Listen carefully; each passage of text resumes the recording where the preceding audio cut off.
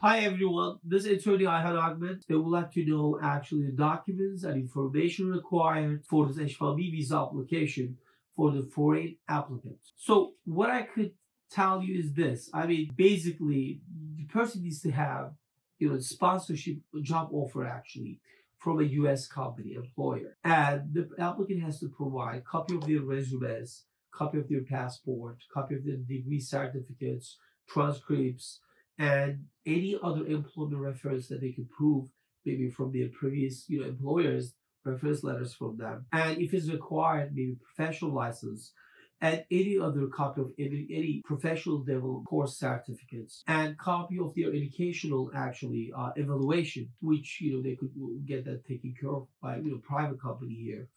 And of course copy of their passport copy of their social security card if they have one copy of their i-94 cards and then copy of, of any of their I-20 showing that I have the you know necessary training or education, and then copy of any other previous approval to any other change of status, you know, applications or H-1Bs. Those are the kind of you know basic requirements that applicant have to have, you know, for them to be able to apply for H-1B visas.